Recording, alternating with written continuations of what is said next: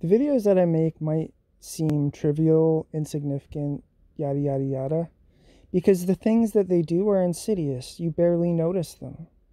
Like, who's this group of people reading conversations, and soon it will be bots, reading conversations and just throwing little wrenches in the gears? Like, here, for example, why is it that when we're scrutinizing the integrity of our government,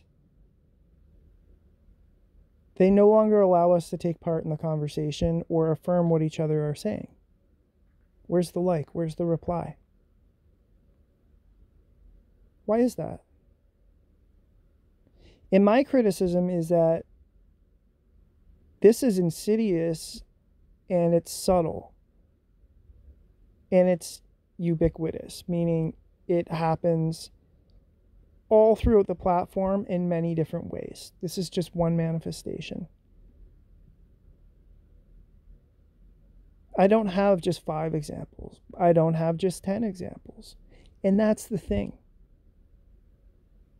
It's so insidious.